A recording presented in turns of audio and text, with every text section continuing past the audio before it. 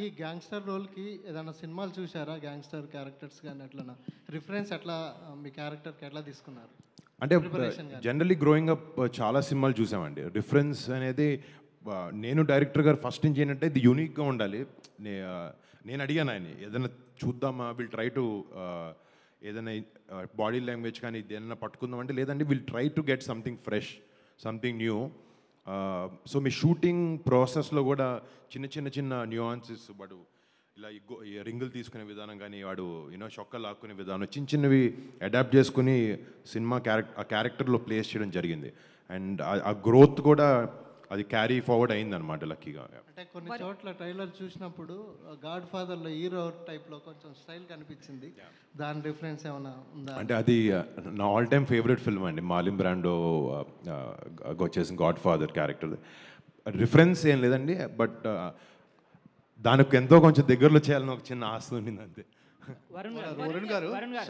వరుణ్ గారు వరుణ్ గారు యాక్చువల్గా మనిషి ఆరాటం అనాదిగా మనీ అండ్ షీ అండి. అంటే మనీ ఎక్కడ ఉంటుందో షీ అంటే ఆమె కూడా ఉంటుంది.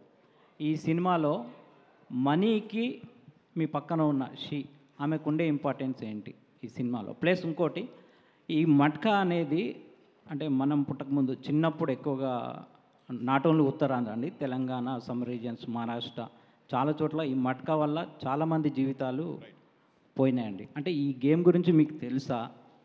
ఈ మట్కా గురించి మీరు విన్నారా? దీని క్యారెక్టర్ కోసం ఎలాంటి రీసెర్చ్ చేశారు? ఈ- ఈ గేమ్ గురించి నేను ఆయన దగ్గరే విన్నాను అనమాట మన డైరెక్టర్ గారి దగ్గర. ఇందాక మీరు ఫస్ట్ చెప్పిన క్వశ్చన్కి అది పాత డైలాగ్ అయినా కూడా behind every successful man there is a women and vice versa ఒక స్టడీనెస్ అనేది ఉంటుంది. ఈ సినిమాలో వాసుకి ఎక్కడా లేని దగ్గర మొదలైనప్పుడు తన పక్కన తోడు ఉంటుంది. వాడు జీవితంలో పైకి వెళ్ళినప్పుడు కూడా ఎక్కడైనా దారి తప్పుతున్నాడు పక్కకి వెళ్తున్నాడు అంటే కూడా సరిగ్గుండు అని సినిమాలో వాసుగని తిట్టే క్యారెక్టర్ ఎవరు ఉందంటే తందే అనమాట అది.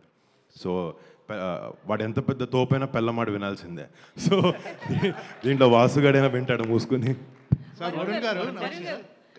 వరుణ్ గారు ఎంత పెద్ద తోపైనా పెళ్ళం మాట వినాల్సిందే అన్నారు కదా. సో లావణ్య గారి మాట మీరు ఎలా వింటారు?